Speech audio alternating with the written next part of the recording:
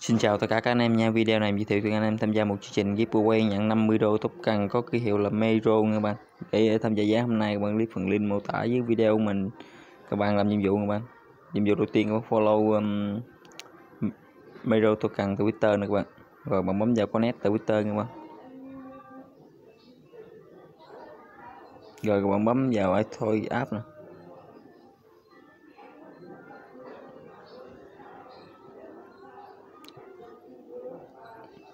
Ok, như vậy. Rồi sau khi các bạn làm nhiệm vụ xong, tiếp tục các bạn follow twitter nè các bạn. Như vậy là mình có tài khoản các bạn follow nè các bạn.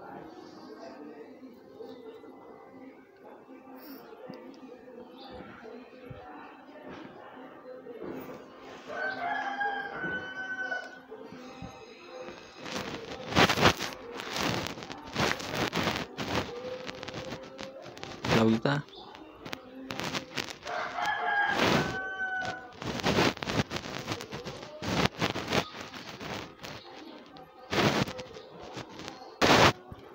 Tờ Twitter thì các bạn like, theo dõi nè các bạn. Rồi xuống đây các bạn like và tờ Twitter với game nha các bạn.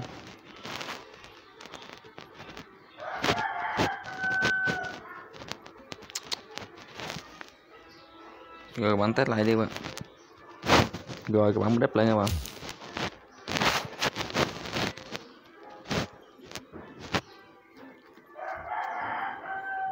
Trời ơi rồi các bạn nhấp vào lại các bạn. Rồi bạn bấm vào verify nè các bạn. Thì nó sẽ kiểm tra. Rồi, mình đã nhận được một token này các bạn. Rồi, tiếp tục thì các bạn cũng follow từ twitter.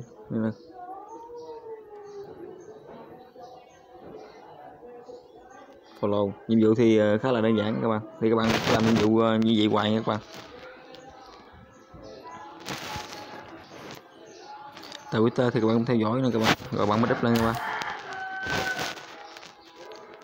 rồi bạn bấm vào verify rồi mình đã được hai tiết này các bạn. Rồi tiếp tục thì các bạn uh, request sẽ tweet nha bạn. Trên kênh group thì uh, cứ làm gì bạn. Rồi tiếp tục thì các bạn bắt ờ, add địa chỉ binb sẽ mất trên cho các bạn.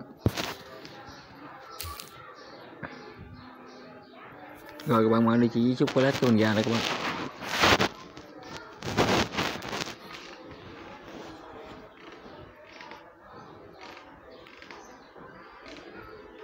Rồi các bạn copy địa chỉ ờ, uh, smart chain bnb nè các bạn sẽ chép lên nè.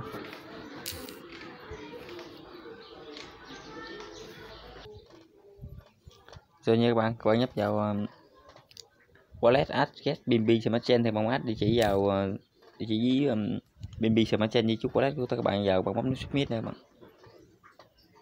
Ok mình, mình đã nhận được ba tiếp nè. Rồi đây nhiệm vụ request sẽ tự quyết này các bạn tự làm này bạn. Zone này quên giúp các bạn tự làm này bạn. Rồi bạn bấm vào một rep minimum. Thì các bạn ờ, copy cái link ghép này mà chia sẻ cho bạn bè và người thân để kiếm thêm ờ, uh, cần nha các bạn vậy video mình đến đây cũng kết thúc. Mình ờ, chào tạm biệt tất cả các bạn hẹn tất cả các bạn những video clip tiếp theo từ mình nhé.